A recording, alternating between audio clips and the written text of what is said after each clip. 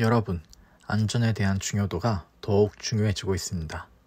그 대표적인 사례로 광주의 아파트 붕괴 사고, 물류센터 화재 사고, 무단주택 침입 등 이러한 사고가 끊이질 않고 발생하며 중대재해처벌법이 생겼는데요.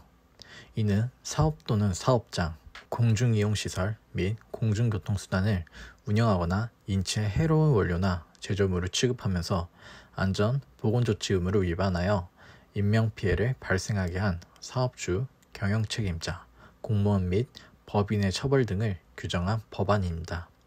하지만 이러한 법안 외에도 사고 등을 사전에 확실히 예방하기 위해 중소기업기술정보진흥원에서 중소기업들과 함께 다양한 기술 개발에 힘을 쓰고 있는데요. 그중 첫 번째는 CMX의 건설 현장의 시공 정보를 기록, 관리하는 모바일 기반의 스마트 감리 앱입니다. 이기상 대표는 어떻게 하면 개정된 건축법에 맞도록 현장 관리의 효율성을 높일 수 있을까 고민하고 또 고민했다고 합니다. 이런 고민 끝에 이기상 대표는 공사 관리, 실무에 대한 오랜 분석 끝에 업무 효율을 떨어뜨리는 가장 큰 요인으로 수기식 기록 방식임을 인지했습니다. 그래서 현장 관리의 업무 효율을 개선하기 위해서는 모바일 디바이스를 통해 공사 업무를 지원하는 간편하면서도 정교한 솔루션 개발에 나섰습니다. 두 번째는 DIY 무인경비 시스템 개발 업체 호서텔넷의 레이캠입니다.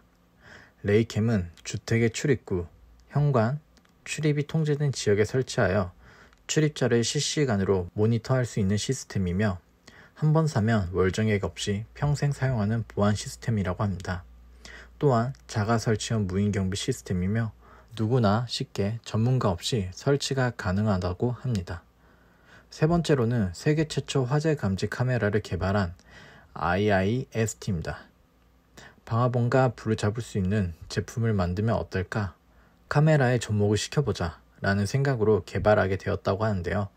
이 지능형 화재 감시 카메라는 화재가 빈번하게 발생할 가능성이 있는 전기실, 기계실, 대규모 플랜트, 문화재 등의 적용이 가능하며 CCTV 보안 기능, 안전 기능까지 수행 가능하다고 합니다. 이렇게 시대의 흐름에 맞춰 끊임없이 기술 개발을 하며 우리의 안전을 더욱 지켜주는 중소기업과 중소기업 기술정보진흥원이 있어 미래 안전 기술이 더욱 기대되고 안심되는 것 같습니다. 앞으로도 많은 관심으로 지켜봐 주시길 바랍니다. 감사합니다.